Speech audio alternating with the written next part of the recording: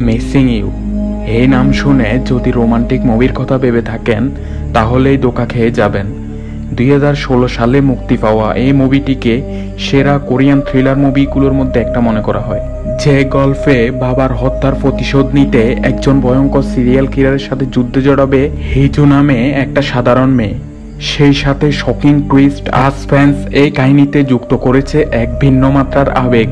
তো আপনি যদি কোরিয়ান থ্রিলার মুভির ভক্ত হয়ে থাকেন, নিঃসন্দেহে মুভিটি আপনার জন্য। মুভির শুরুতেই আমরা দেখি আদালতে কিম নামে এক সিরিয়াল কিলারের সাজা ঘোষণা করা হচ্ছে। এখানে তার বিরুদ্ধে টোটাল ষাটটি খুনের অভিযোগ থাকলেও পর্যাপ্ত প্রমাণের অভাবে ছয়টি খারিজ হয়ে যায়।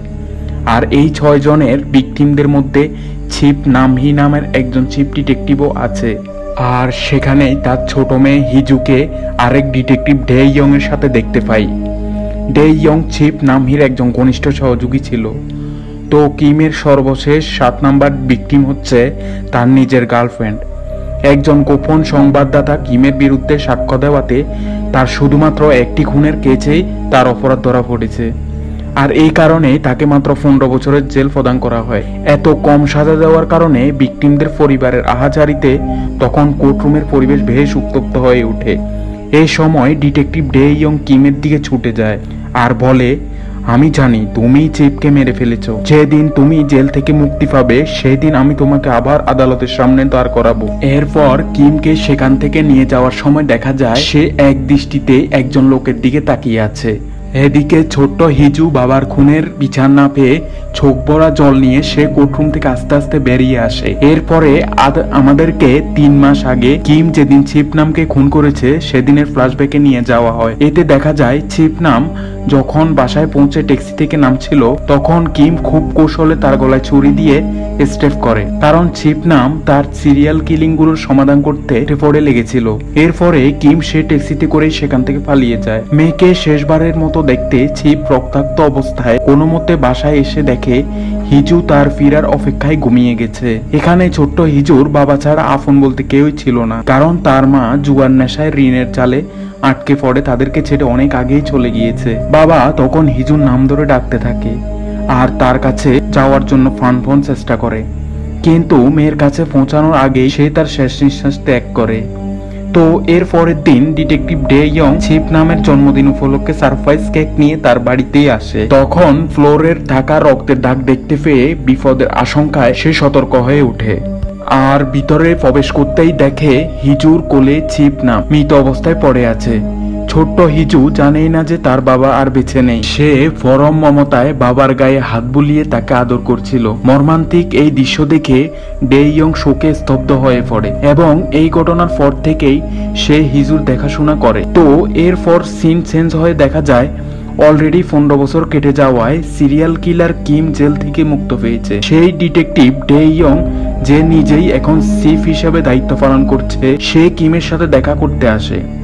ডে ইয়ং বলে, তুমি শুধু একটি খুনের জন্য জেল খেটেছ। বাকি আরও যে ছয়টি খুন তুমি করেছ, তার সাজা আমি তোমাকে দিয়েই ছাড়বো। এই বলে সেখান থেকে ডে ইয়ং চলে যায়। আর কিম তার ফোন বের করে মিনশো নামে একজনকে খুঁজতে থাকে। এরপরে আমরা হিজুকে দেখতে পাই। সেও এখন অনেক বড় হয়ে গিয়েছে। সে একটা বিল্ডিং এর ছাদে গিয়ে একটা মহিলাকে লক্ষ্য করছিল। মূলত এই মহিলাটি হচ্ছে তার মা। কাজে যাওয়ার আগে প্রতিদিন সে এভাবে লুকিয়ে তার মাকে দেখতে থাকে। এই সময় তার মায়ের বর্তমান স্বামীকে দেখতে পেয়ে হিজু তার কাছে যায়। আর হাসি মুখে বলে, তোমাকে এর আগেও সাবধান করেছিলাম তোমার স্ত্রীর গায়ে হাত না দেওয়ার জন্য। কিন্তু তুমি আমার কথা শোনোনি। তবে যাই হোক, খুব শীঘ্রই তুমি মারা যাবে। এইটা বলে হিজু সেখান থেকে চলে যায়। এতে সেই লোকটি তাকে পাগল হিসেবে ধরে নেয়। যেহেতু সে তার সাথে পরিচিত ছিল না, তো এরপরে হিজু পুলিশের হেডকোয়ার্টারে গিয়ে পৌঁছায়, যেখানে সে ক্লিনার হিসেবে কাজ করে। এদিকে ডে ইয়ংকে দেখা যায় অফিসের সবার থেকে টাকা তুলে সেটা হিজুর টেবিলে রেখে দিত। আসলে চিপ নাম যখন বেঁচে ছিল হিজু প্রতিদিনই তার বাবার সাথে এই অফিসে আসতো। যেহেতু তাকে টেক কেয়ার করার মতো কেউই ছিল না, তাই অফিসের এই লোকগুলোই হয়ে ওঠে তার আপনজন এবং তাকে সবাই অনেক ভালোবাসে। প্রতি মাসে তাদের বেতন থেকে কিছু টাকা তুলে তারা হিজুকে দিয়ে দিত। তো ডে ইয়ং তার দুই জুনিয়রকে কিমের ছবি সহ তথ্য দিয়ে বলে তার উপর নজর রাখতে। অতএব কিম যে হোটেলে অবস্থান করছে, তারা সে হোটেলের উদ্দেশ্যে রওনা হয়। এইখানে ডিটেকটিভ ছা এই চাকরিতে নতুন জয়েন করায় কিমের সিরিয়াল কিলিং সম্পর্কে তার কোনো ধারণাই ছিল না। তাই সে ডিটেকটিভ ডে ইয়ং এর কাছে জানতে চাইলে সে জানায়, কিম তার ভিকটিমদের হাতগুলো পিছনে টেনে ভেঙে দিত। তারপর পলিথিন ফিচিয়ে সাফোকেট করে মেরে ফেলতো। আবার কখনো কখনো কুকুরের চেন পড়িয়ে ফাঁসি দেওয়ার পর কেটে দিত শরীরের বিভিন্ন অংশ। এবং সর্বশেষ তার গার্লফ্রেন্ডের চিটিং করার কথা জানতে পেরে তাকে মেরে ফেলে এবং এক গোপন সংবাদদাতার সাহায্যে তাকে আটক করা হয়। এদিকে কিমকে দেখা যায় হোটেলে এক মেয়ের সাথে সময় কাটাতে। সে যখন তার সাথে ভায়োলেন্ট হয়ে ইন্টিমেট হচ্ছিল, তখনই সে তার গার্লফ্রেন্ডকে যেভাবে খুন করেছিল, সেই দৃশ্যের কথা তার মনে পড়ে। এতে কিমের ইচ্ছে করছিল, এই মেয়েটাকে ওইভাবেই মেরে ফেলতে। কিন্তু ডে ইয়ং যেহেতু তার পিছে লেগে গেছে, তাই সে নিজেকে সামলায় নেয়।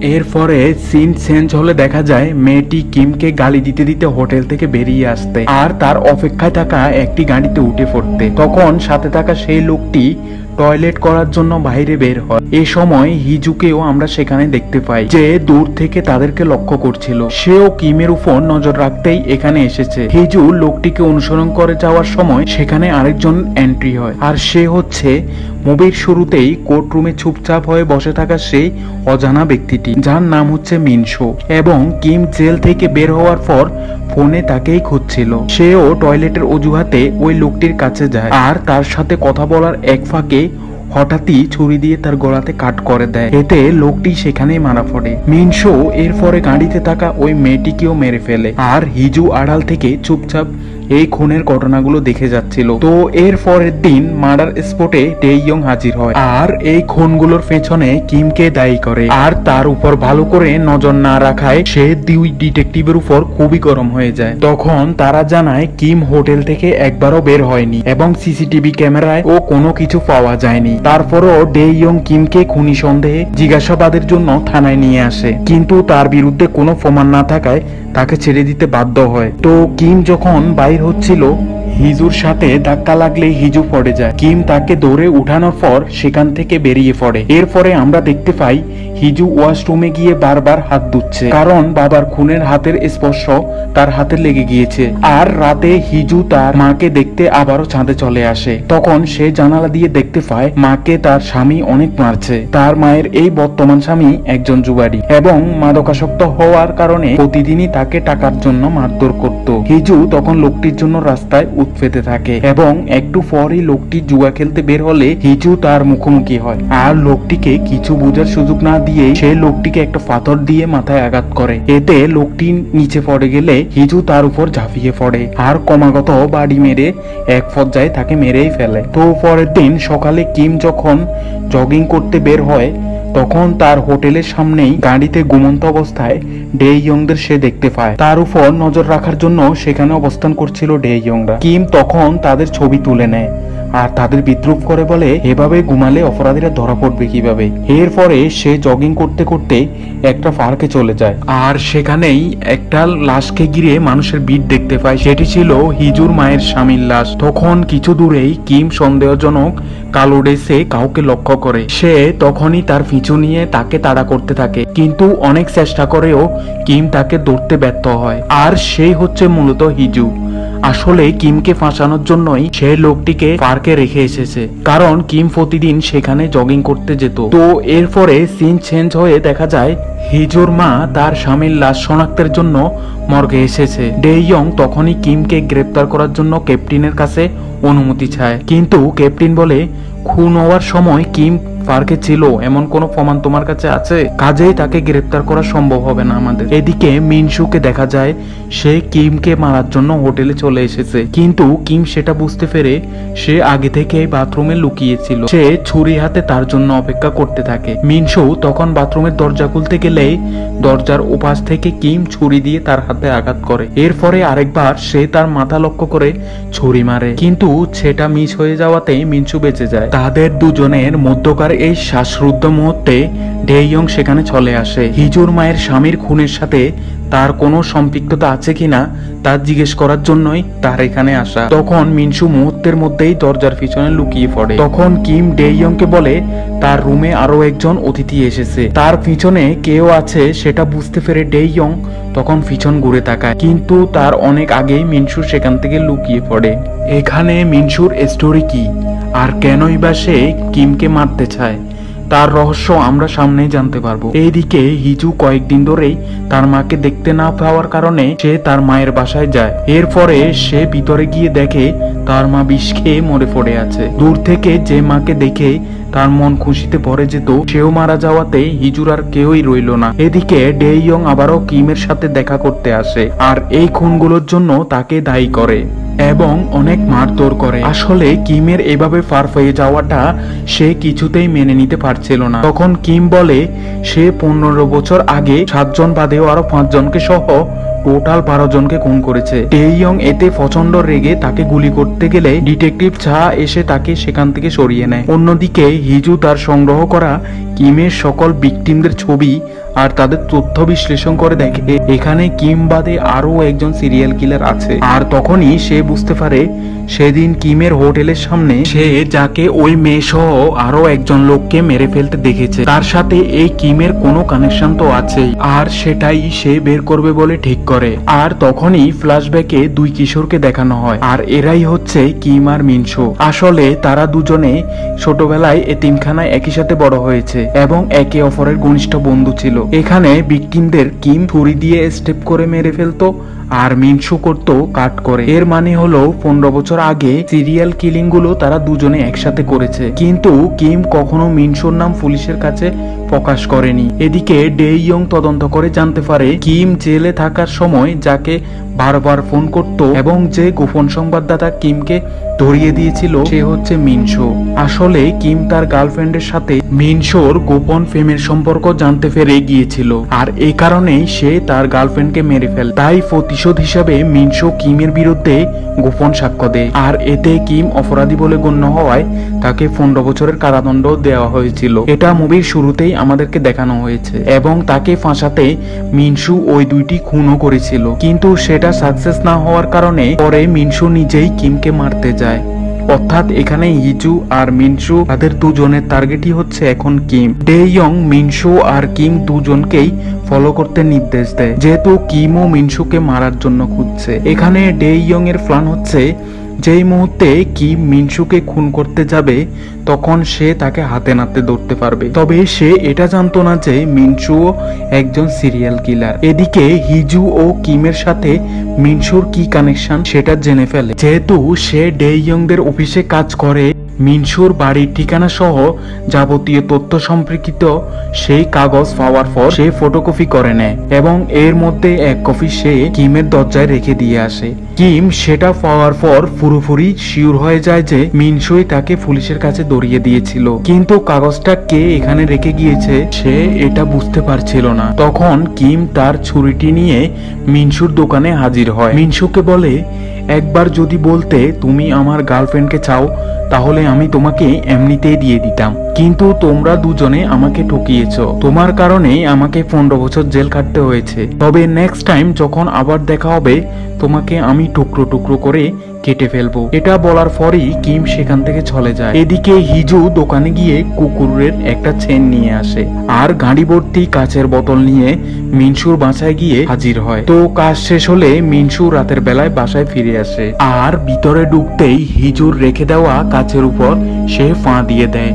তখন লাইট অন হলে আমরা দেখি পুরো ফ্লোরে সে কাচের বোতলের টুকরো ছড়িয়ে রেখেছে। মিনসু তখন কোনো কিছু করার আগেই হিজু তাকে সেখানে কারেন্টের শক দিয়ে মেরে ফেলে এবং আবারও কিমকে ফাঁসানোর জন্য মিনসুর লাশ তার রুমে রেখে আসে। কিম তার বিছানায় সে লাশ দেখে চমকে ওঠে। ঠিক তখনই হিজু পিছন থেকে তাকে অ্যাটাক করে আর তার বুকের ফাজরে ছুরি বসিয়ে দেয়, যাতে কিম কোনো ধরনের লড়াচড়া করতে না পারে। এবং হিজুর চেহারাও দেখতে না পায়। কিম তখন তাকে জিজ্ঞেস করে, সে কে? হিজু বলে, আমি হচ্ছি সে যে ছোট্টবেলা থেকেই তোমার জন্য অপেক্ষা করছি। তো এরপরে সে কুকুরের চেন দিয়ে তাকে শ্বাসরোধ করে অজ্ঞান করে দেয়। আর এটাই সে আবার মিনসুর গলায় পরিয়ে দেয়, যাতে পুলিশ মিনসুর খুনি হিসাবে কিমকে গ্রেপ্তার করে। কিন্তু পুলিশ আসার আগেই কিম জেগে যায়। তখন সে ফাঁসের রুমে থাকা এক কাফলকে অ্যাটাক করে। এর মধ্যে ছেলেটিকে সে মেরে ফেলে, তার বিছানার নিচে লুকিয়ে রাখে। আর মেয়েটিকে জিম্মি করে ছেলেটির জায়গায় নিজেই ভিকটিম সেজে অ্যাম্বুলেন্সে করে পালিয়ে যায় এবং অ্যাম্বুলেন্সেও সে মেয়েটিকে মেরে ফেলে। কারণ মেয়েটি তাকে খুন করতে দেখে ফেলেছিল। কিম কখনোই তার খুনের প্রত্যক্ষ দোষীকে বাঁচিয়ে রাখে না। এদিকে কিমকে ধরতে না ফিরে পুলিশের প্রধান ভীষণ খেপে যায়। যে করেই হোক, কিমকে ধরার জন্য সে তাদের নির্দেশ দেয়। আর তাকে ধরিয়ে দিতে অনেক টাকার পুরস্কারও ঘোষণা করা হয়। কিন্তু ফরেন্সিক রিপোর্ট থেকে জানা যায় মিনসুর মৃত্যুর সাথে কিমের কোনো সম্পর্ক নেই। এদিকে পলাতক কিম রাস্তায় তার ছবির পোস্টার দেখতে পায়। সে তখন তার ফোনে ছবি বের করে দেখে খুনগুলো হওয়ার সময় এই ডিটেকটিভরা তার সাথেই ছিল, যার প্রমাণ তার তোলা ওই ছবিগুলোই। কাজেই তাকে গ্রেপ্তার করার মতো পুলিশের কাছে উপযুক্ত কোনো প্রমাণ নেই, সেটা বুঝতে পেরে সে একজন সাংবাদিককে ফোন করে এবং নিজেকে নির্দোষ দাবি করে সেই ছবিগুলোর কথা বলে। তো তার পরের দিন নিউজ পেপারে এটা প্রচার হয়।